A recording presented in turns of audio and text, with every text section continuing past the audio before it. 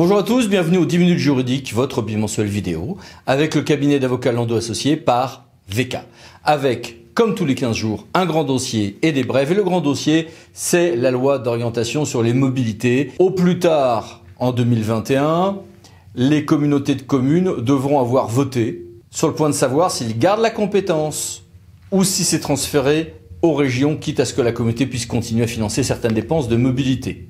Cette compétence est plus qu'autrefois modulable. Il y aura une modulation possible du taux de versement mobilité par intercommunalité à l'échelle d'un syndicat mixte compétent et un renforcement euh, du rôle des régions qui passeront des contrats opérationnels de mobilité avec les euh, AOM, y compris sur des questions euh, de, de garde voyageurs, mais sans ressources dédiées pour les régions, un assouplissement sur la notion de bassin de mobilité et un respect des périmètres intercommunaux, un rapport de compatibilité entre le plan de mobilité et le PCAET, et des nouvelles règles sur les nouvelles mobilités.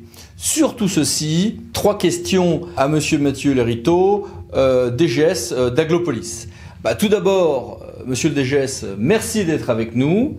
Et première question, quelles sont vos satisfactions et déceptions sur cette future, justement, loi d'orientation sur les mobilités?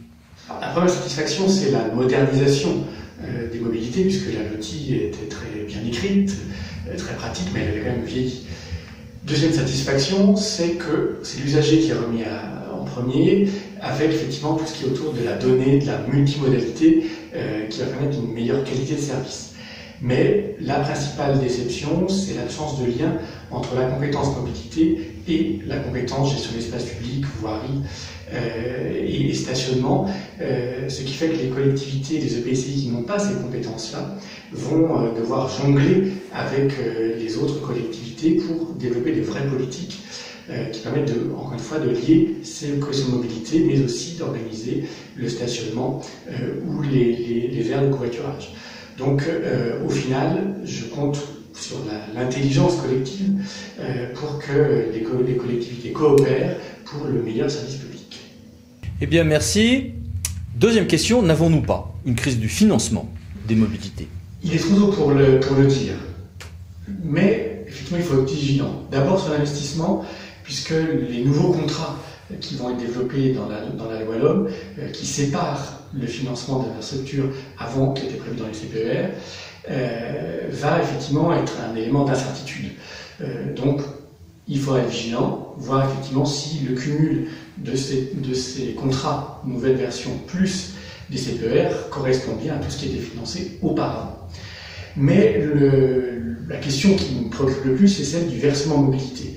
Aujourd'hui, le versement de transport est très décrié, il est basé sur la masse salariale, euh, il est inégal d'une collectivité à l'autre, il n'y a pas de péréquation, mais il n'en reste pas que c'est l'élément central euh, du fonctionnement de, nos services. Donc s'il devait évoluer, il faudrait être très vigilant sur les pérennités financières pour les collectivités au quotidien. Merci. Troisième question. On a des transitions aujourd'hui rapides entre usagers, entre modes de transport selon les jours, au sein d'un même trajet, y compris des transports qui ne sont pas des lignes régulières euh, publiques. Ça change le monde des transports. Euh, est-ce que la loi, à votre avis, a assez pris en compte euh, ces facteurs?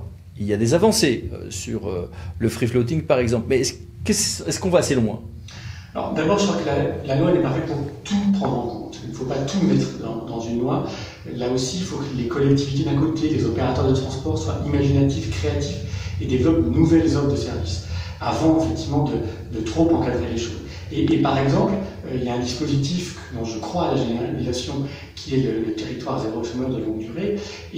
On pourrait imaginer que soit via ces outils-là, soit via des outils associatifs, se développent des structures de covoiturage euh, hors des zones urbaines, hors des, zones où il est euh, rentable, entre guillemets, et peuvent se, créer de nouvelles initiatives au service de mobilité qui ne sont pas prévues dans la loi. Donc encore une fois, là, j'en appelle à la créativité de tous les acteurs publics et privés euh, du transport, plus qu'à la loi.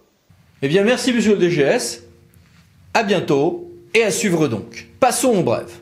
On s'achemine vers un consensus difficile, mais qui serait le suivant sous réserve de ce que nous dira l'Assemblée nationale. 1. On passerait à une élection au scrutin de liste des vice-présidents en intercommunalité. 2. avec une sorte de semi-parité. 3. À partir de 1000 habitants dans les communes, on aurait une vraie parité Shabadabada. En effet, aujourd'hui, on doit avoir pas plus qu'un différence entre le nombre d'hommes et de femmes dans euh, la liste des adjoints au maire à partir de 1000 habitants, mais sans qu'il soit obligatoire d'avoir un homme, une femme, un homme, une femme, ou un femme, un homme, une femme, un homme.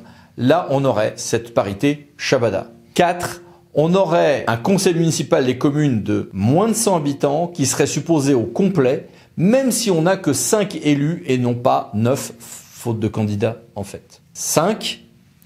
La fin du nuançage politique, nous vous l'avons annoncé déjà il y a 15 jours, avec un seuil qui devrait être de 3500 habitants. Donc en dessous de ce seuil, les maires ne seront plus rattachés à telle ou telle affiliation partisane. 2. Suppression, compensation de l'indemnité de conseil.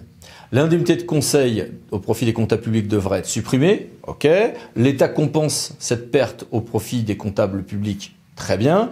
Sauf que l'AMF a révélé que euh, il y avait un petit tour de passe-passe car les communes se verraient amputées dans leur dotation de la somme que l'État versera en compensation à ses comptables. 3. Décrochage de portraits. Il y a ce mode de protestation, cette mode euh, consistant à décrocher des portraits pour des raisons de contestation environnementale. Bon, on a vu que le tribunal correctionnel de Lyon a estimé que ce n'était pas en soi une infraction, ou plus précisément qu'il y avait un état de nécessité. Le tribunal correctionnel de Paris, lui, a estimé que euh, ce n'était pas le cas, c'est un vol en réunion. Bon. 4. Appel à candidature auprès des communes. Vous êtes une commune. Bien, ça vous dirait de récupérer des agents de la DGFIP La DGFIP fait un appel aux communes, voir les informations ici, pour qui veut récupérer des services de l'État, de la DGFIP, qui aujourd'hui sont en région parisienne ou dans les grandes métropoles. Répondre avant le 29 novembre. 5. Les nouveaux seuils européens de la compte publique sont arrivés.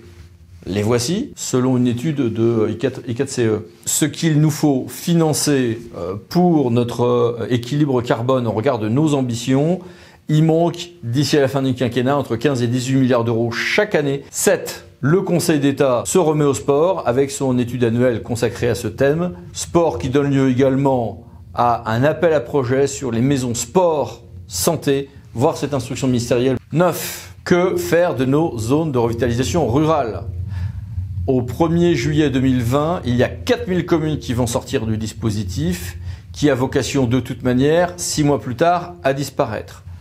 Le Sénat veut que cela ne disparaisse pas. Un rapport a été produit en ce sens. En voici les références. Nul doute que ce sera une bataille dans les semaines et mois à venir. 10. Une station de lavage trop bruyante peut donner lieu à usage de ses pouvoirs de police par le maire sous certaines conditions. C'est à Nantes. 11. Habitat indigne. En réalité, sur l'habitat indigne, il y a pluralité d'acteurs, pluralité de régimes juridiques, et donc un rapport a été remis euh, par Guillaume Vuittel, le député, euh, sur ce sujet qui devrait donner lieu ensuite à une évolution législative avec une proposition forte, c'est une police unique, euh, confiée à une autorité unique, pouvoir de police en la matière. 12.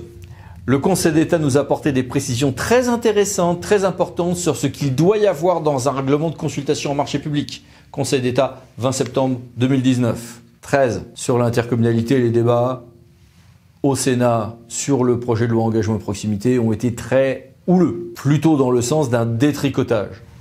Donc, l'ADCF a appelé les parlementaires à éviter trop de retours en arrière. 14. Le Premier ministre propose que les régions volontaires à cet effet, à titre expérimental, pilotent Pôle emploi. Deux régions sont déjà prêtes à prendre le volant de ce pilotage, Pays de Loire et Hauts-de-France, à suivre. 15. Regardez ce tableau.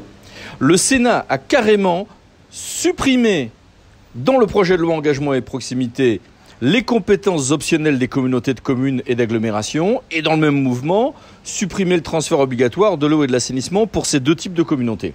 Évidemment que c'est le reflet de l'esprit du temps et qu'il y a des élections sénatoriales dans l'air. Évidemment que euh, ça ne va pas passer comme ça dans le texte définitif, mais quand même, c'est un sacré coup de tonnerre. Voilà, merci, à bientôt pour une nouvelle vidéo, les 10 minutes juridiques, parlons d'associés pour VK. N'oubliez pas de vous abonner juste après. À bientôt, au revoir.